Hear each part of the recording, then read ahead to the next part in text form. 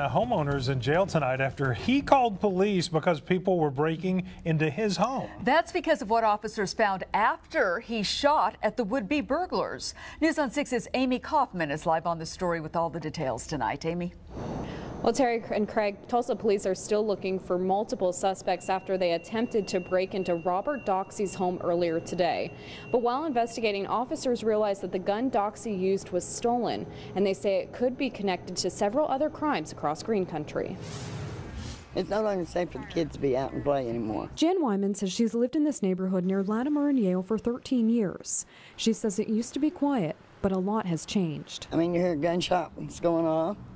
You see people running up and down uh, the street, like running from the laws. Wyman says people have even broken into her own home before, and it's not rare to see officers on her street. And it can happen during the day, it can happen at night. People just don't care anymore.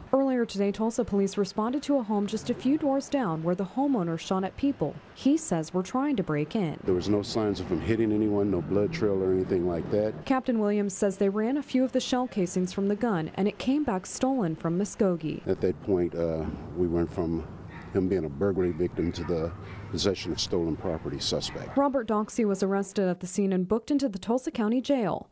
Officers say they are still looking for the people who tried to break in, but at this time they don't have a suspect description. So they're just telling neighbors like Wyman to be alert. It's sure changed a lot that you can't sit out in your front front anymore and worry about whether you're going to be shot at or somebody's going to be flying bullets or, you know, it's just not safe. Now, officers are checking the shell casings to see if the recovery of this stolen firearm could clear up any other unsolved crimes. So we'll continue to follow this story as it develops. Live on the scene on the story from the Tulsa Police Department, Amy Kaufman, News on 6.